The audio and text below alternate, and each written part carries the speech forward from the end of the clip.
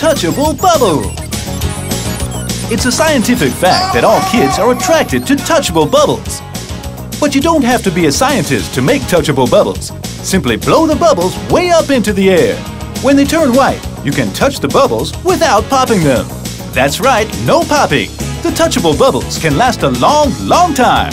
Try it to believe the magic for yourself. Uncle Bubble.